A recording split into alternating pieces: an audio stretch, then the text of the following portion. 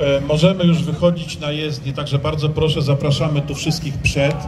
E, Proszę o zostawienie tak przynajmniej e, półtora metra przed sceną, żeby, można, żeby mogły telewizje podejść do nas.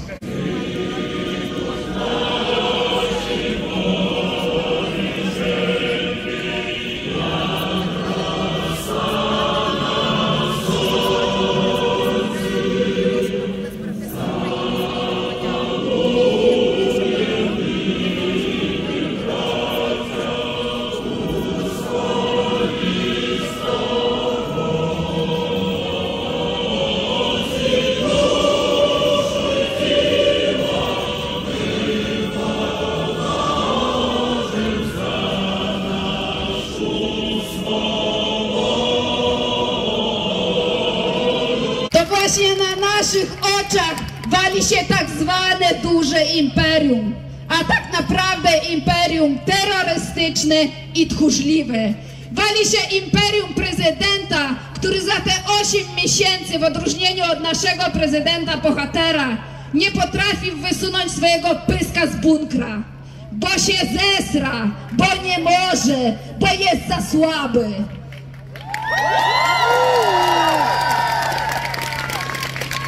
Drogi Putinie, zabieraj swoi, swoje onucy do Rosji, bo ich tutaj nie potrzebujemy. Nie potrzebujemy tutaj ambasadora kraju terrorystycznego.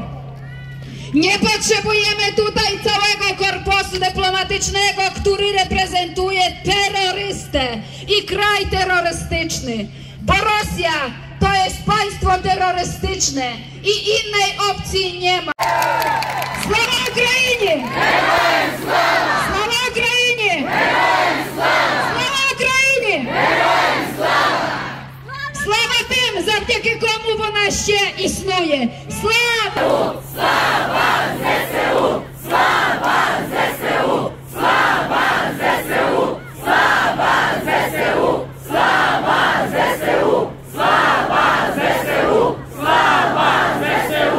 приходять на чужу землю, і ті, хто кидають бомби, стріляють ракетами.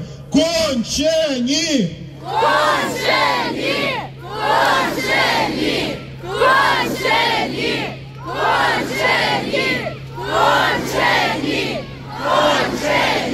szantażowanie e, Ukrainy, żeby się poddała, zrezygnowała ze swoich terytoriów, oddała swoją ziemię, bo inaczej będą mnie dalej bombardować.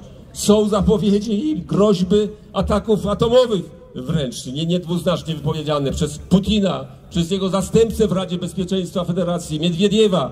No to są normalne zagrywki terrorystów. Skacie twój maskal! Kto nam skacze twój maskal? Kto nam skacze twój maskal? Kto nam skacze twój maskal? Do wszystkich Rosjan! Co wam ta wojna nie przeszkadzała! Dopóki ktoś inny mordował w waszym imieniu!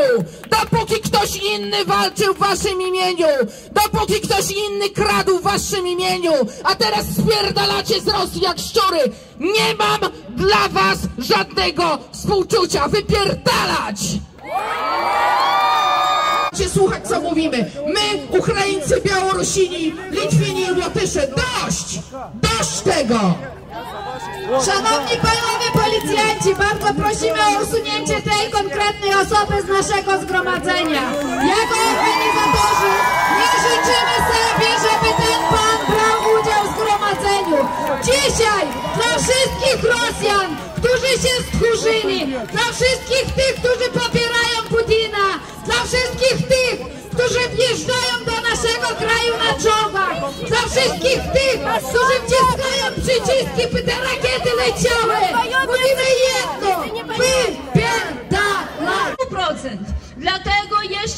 i ciągle wzywamy, potrzebujemy więcej broni wysokotechnologicznej, broni przeciwkopowietrznej. Musimy walczyć, musimy się chronić i wzywamy państwa NATO, państwa pozablokowe, które mają taką broń, o taką broń. Dajcie nam broń, dajcie nam broń, dajcie nam broń, dajcie nam broń.